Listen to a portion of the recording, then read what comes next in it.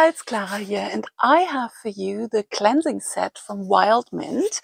I've just unboxed it and checked on it, and it has five really nice parts in it. So we have here the Citrus Splash Purifying Antioxidant Toner. We have the Citrus Cleanser. There is the Marula Magic. This is a face oil. And can't even hold it properly here.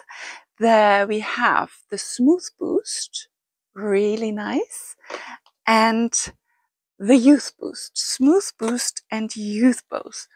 All of these very nice beauty items smell amazing of citrus.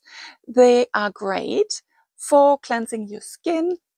I have mature skin, but it still has some youth boost there, which I love and I really like this set. I gladly recommend it to you and I hope you can try it for yourself.